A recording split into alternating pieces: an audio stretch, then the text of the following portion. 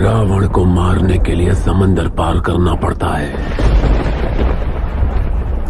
और उसी रावण को मारने के लिए बड़ा जिगर भी हो, हो, होना चाहिए।